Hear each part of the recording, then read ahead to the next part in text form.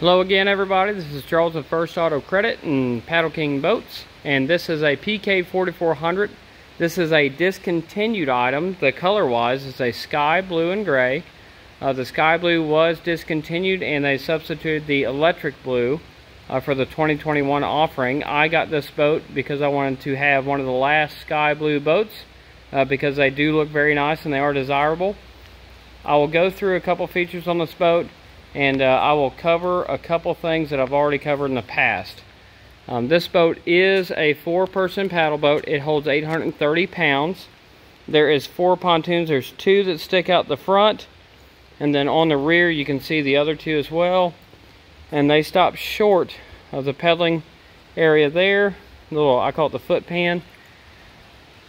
Now this boat specifically, uh, this well this customer specifically, they requested uh, two fishing rod holders. So you have two rods on this side and two rods on this side.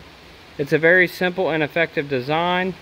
Um, that allows you to stick four rods on your uh, paddle boat. So when you're around the pond or lake, you have two different pole setups. I like to carry a bass rod and a panfish rod. Everybody has their preferences.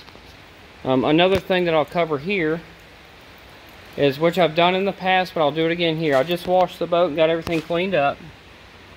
There's a little bit of white lithium grease there. So on this mechanism here, there's three bushings underneath the housing and there's three bushings in front of the housing exposed. I use white lithium grease and that's important to note that because that does not react with UV rays, etc., and different petroleum distillates to break down that nylon bushing. If you use a standard oil, um, over time it can break that nylon down. I do have it displayed with the uh, bimini cover open, or the bimini top open. Uh, that will give you sunshade while you're paddling, and that's just a good representation of how the rods will be next to it, and then how you'll be protected from the sun while you're paddling on the lake.